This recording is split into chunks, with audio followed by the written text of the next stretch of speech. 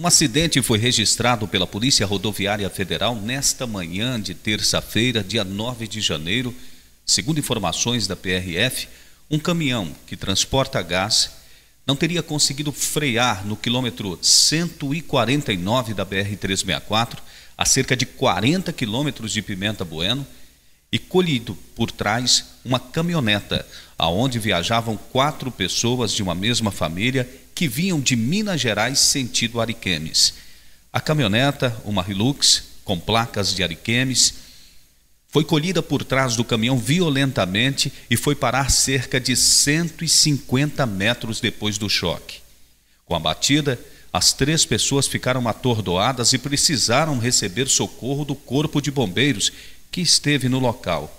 Informações do bombeiro militar Tarlisson dão conta de que uma pessoa estava desfalecida no local, seria o condutor da caminhoneta, e que uma senhora reclamava de muita dor em uma das pernas, possivelmente com fratura no fêmur. É, por volta das 8 horas, a nossa guarnição foi acionada para atender o acidente ali na BR-364. Segundo informações do solicitante, uma colisão ocorrer ali no local, é, envolvendo dois veículos. Um deles permaneceu no local, foi uma colisão traseira. O veículo permaneceu no local e o outro foi em busca de socorro.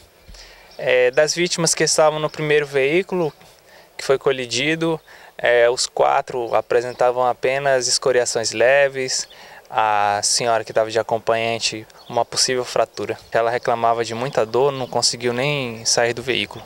Já o condutor, ele, quando chegamos no local, ele se encontrava no lado de fora, deitado, tinha batido a cabeça, estava inconsciente.